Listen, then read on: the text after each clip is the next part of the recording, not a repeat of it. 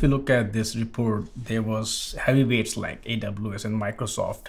How does this report, how does Gartner look at Gravitee as compared to these heavyweights? Hi, this is your host Bhartiya and welcome to TFI Let's Talk. Today we have with us Linus Håkansson, Field CTO at Gravitee. Linus, it's great to have you on the show. Very good. Nice to meet you all. It's my pleasure to host you here today. And this is the first time I'm talking to someone from Gravitee. So I would love to know a bit about the company. Talk about, you know, what do you folks do? What problem are you trying to solve in this modern world? Yeah, of course. So I'm sure a lot of listeners and viewers have heard about APIs before. It's kind of the connectivity glue between any service. So whenever you interact with a website, you use your favorite AI tool, a mobile application, rest assured they're using APIs. Uh, so every organization in the world somehow uses APIs most of them create services that are exposing APIs to their partner, customers, public users, internal applications, and so forth. So APIs um, need very good security. They need very good discoverability and documentation for people to be able to know what APIs exist, how to work with them, and providers of APIs needs to be comfortable that they are secured, that they know who is consuming them, uh, understanding if there's any issues or challenges um, with those APIs. And that's where API management comes in to address needs that enterprises have to manage those APIs, how to make a developer portal for people to discover and subscribe to APIs, uh, bringing tooling like securing APIs with different security mechanisms and so forth. Now at Gravitee, we're in this API management space and we tackle this from a quite unique position. We believe that REST and SOAP and other traditional APIs, there's a good kind of documentation and standardization and tooling available since a couple of years back. But with the explosion of event driven architectures, real time applications, real time decision making, organizations have adopted new types of APIs, event driven APIs, whether it's Kafka or Webhook or WebSocket and other types of real time uh, API services. They also need to be protected. They also need to be documented uh, discover uh, discoverable, and you need to maybe rate limit them or other security controls on top of them. And that sort of tooling in the market for those sort of new event-driven APIs haven't really been there. So at Gravitee, we are treating those APIs as first-class citizens, delivering tooling that helps organizations manage all types of APIs effectively. So that's what we do. Um, we founded 2016. The growth really kicked off in 2019, and at the moment we're north of 100 people in the organization with around 170 customers. I just want to look at API management space, how companies are doing it, what kind of unique challenges this vendor sprawl, services sprawl, how it poses for them. And after that, then we will talk about a bit deeper into how Gravitee is approaching. You you touch the surface, you scratch the surface, we'll go a bit deeper. But let's start with this point is that, you know, the state of API management. Maybe life was a bit easier maybe 10 years ago when you went with an IBM or an SAP or an Oracle, and that was kind of it.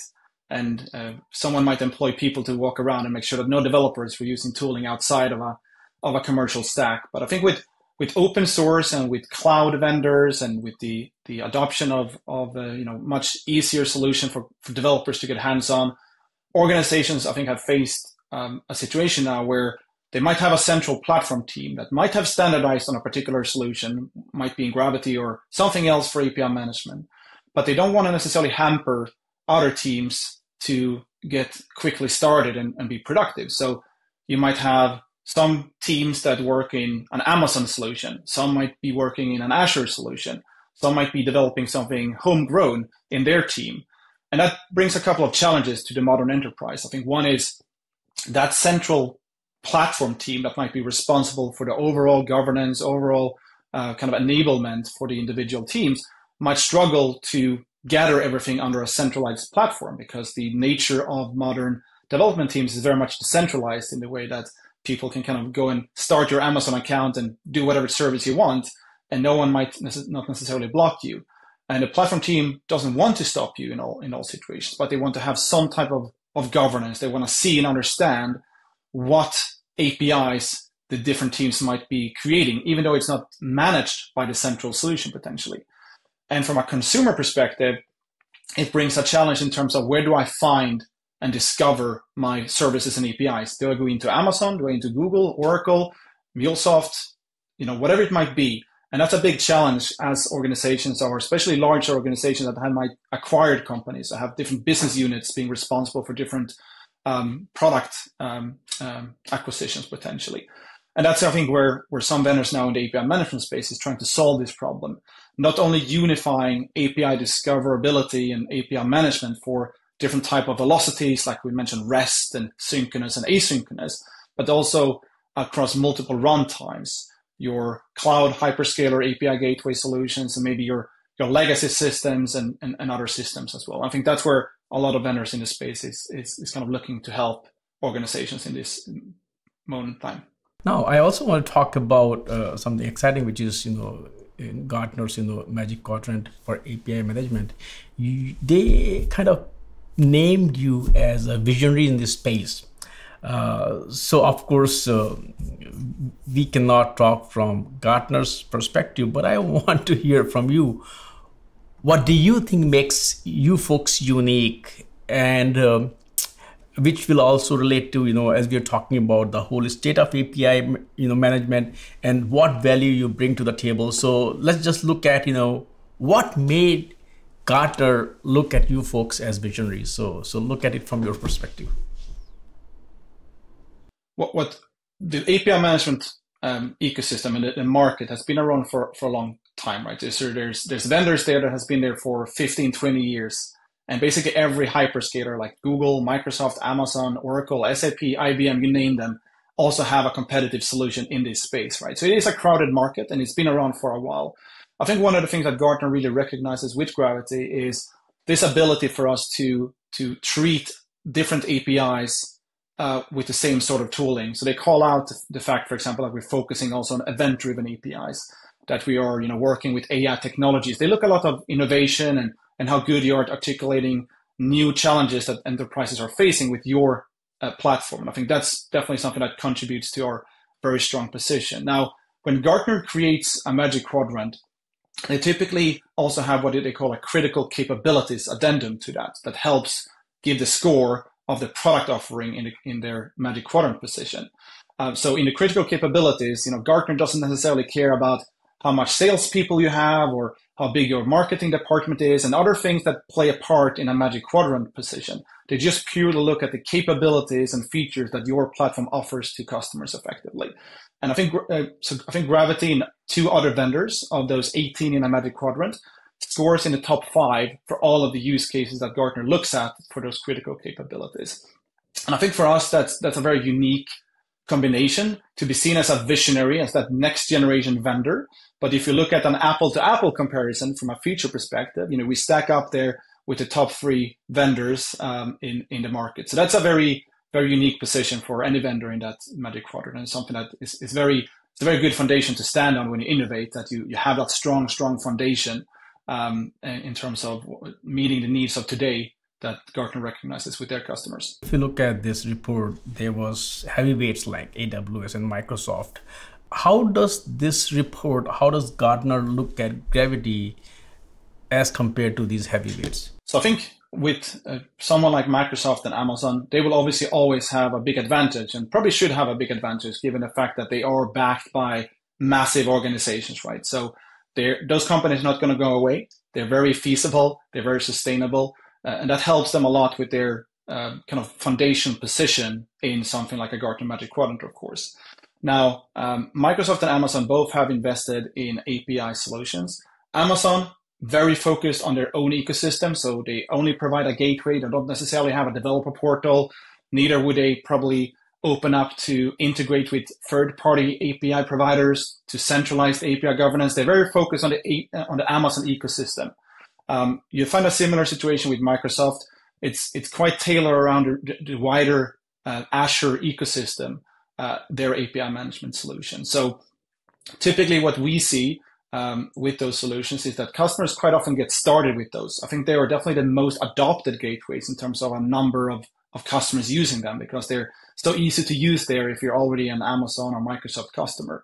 Um, but then you sometimes grow out of those because Amazon and Microsoft are not in business for being an API management vendor. That's not their where they're gonna get all of the most revenue in, right? And that's not where they specialize. So obviously, vendors like ourselves uh, have maybe a more of an opinionated idea of where the market is going and have maybe the ability to very, move very quickly to go uh, to where the market is going in, into a few years and not have to worry so much about the wider ecosystem of, of us as a cloud provider. So um, hopefully that, that gives an idea of, of, of how it's a bit different uh, when you compare a hyperscaler platform versus a specialized vendor like Gravitee's offering. Uh, it's typically very much more innovative and it has a stronger opinion on where the API market is going. We were at KubeCon earlier, uh, you know, last month, and uh, day one was all about Gen AI. When it comes to API management, what role do you see of Gen AI? How is Gravitee or where you are in it terms of embrace or you feel it's too early? So I think API management needs to look at Gen AI from three different perspectives. So one is the consumer's perspective. So at Gravity, we believe that AI and generative AI will help consumers better to self-serve and maybe even create APIs for them. So let me give you an, an example. So for modern organizations today, if I'm an organization that needs to provide a service to my partner, my customer, I need to create an API. I need to define what that API should include, what properties, what fields, how to interact with, all these capabilities I have to figure out and then implement and then give out to my consumer so they can go and discover it. What we think is that AI might switch that so that a consumer might go in and say, this is what I need. I'm going to use natural language. I'm going to tell you what I need. And then the API platform automatically generates that based on pre-approved packages and APIs that the API provider might have already put together there effectively. So it automatically gives you that already to accelerate the time to market and potentially remove the need of custom work by the provider. So that's one very interesting angle. It's going to probably take a, while to get the market ready for that as you know, you put basically putting the powers into the consumers in terms of exactly what services they want effectively. I think the other one, which is maybe a little bit more short term, is how generative AI and AI in general can help the API provider to accelerate getting the APIs to market that the, the, the consumer wants. So here we talk about, for example, uh, prompts and natural language to create an API from a provider perspective, maybe uh, writing something like create me an API that protects my backend service over here. It should have rate limiting. It should have OAuth security and should transform the data from XML to JSON. And just with that text, you will be able to have that API created by the API platform immediately, for example. So that's one, one other angle that, that we're looking at it from. And then the third one is with the explosion of OpenAI and, and Gen AI in general and all these different LLMs out there, API management might provide a, a unique angle on how to protect and govern those models to maybe abstract them from the consumer potentially.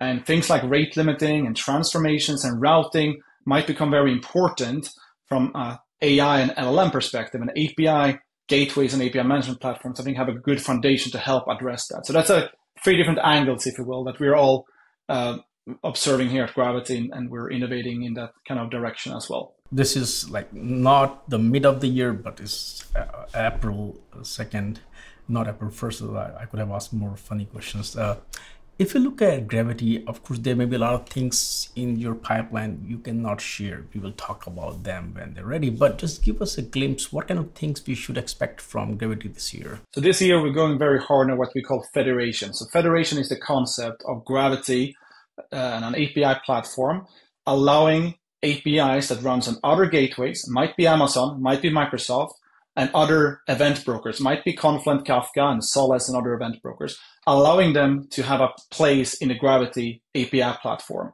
to have a unified developer portal where discoverability is possible not only for Gravitee APIs, but also Amazon APIs, Microsoft APIs, IBM APIs, Apigee APIs, other type of platforms. Um, coming to my earlier point, this is where we see a big issue in organizations today, where they might have different solutions, maybe because of acquisitions, because of legacy, migration takes time, multi-cloud strategies, and that's something that we're physically addressing with, with Gravitee this year. So we're looking to add already in June a few of those solutions into our platform. So that's uh, one of the things that we're doing. Monetization is another big thing that um, customers are using Gravitee for, but we want to make that much easier. So we're revamping how our developer portal works um, and how people can gain um, immediate monetary uh, revenue basically by exposing APIs in a very pack- packageable and discoverable and uh, a way that integrates well with billing systems, for example, for that kind of monetization. Uh, and then indeed, um, we're doing we have an entire team just focused on AI and generative AI and, and how we can augment the platform as well as providing new use cases for our customers with AI. So those are, I would say, the three highlight areas that that we're bringing for for this year. Let us thank you so much for taking time out today. Of course, uh, talk about the company, talk about Gartner's Magic Quadrant, establishing you folks as a visionary company. Thanks for all those great insights, and I would love to talk to you again. Thank you. Thank you so much, Swapnil. Thanks for having me.